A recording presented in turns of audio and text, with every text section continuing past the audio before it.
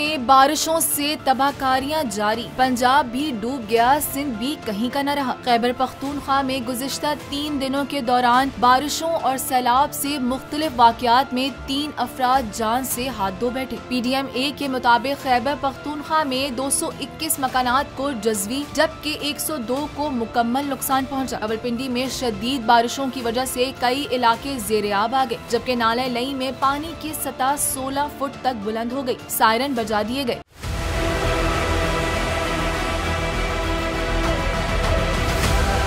बारिश के बायस ओथल से हब तक मुख्तलिफ़ मकाम से सड़क टूट फूट का शिकार है। पुल टूटने के बायस कराची से कोयटा का जमीनी रबता मुनकता हो गया। मोटरवे पुलिस व जोन ने अपील की है कि बिला ज़रूरत मुसाफिर सफ़र न करें। किसी भी वक्त हंगामी सूरत हाल का सामना हो सकता है। इधर सिंध के शहरों हैदराबाद, ठट्टा समेत अंदरूनी सिंध वक्फे वक्फे से बरसते बादलों ने हर तरफ़ पानी पानी कर दिया। तारीखी शहर डिचकोट टंडुवाला यार और शिकारपुर में तूफानी बारिश के बाद जगह जगह पानी जमा हो गया।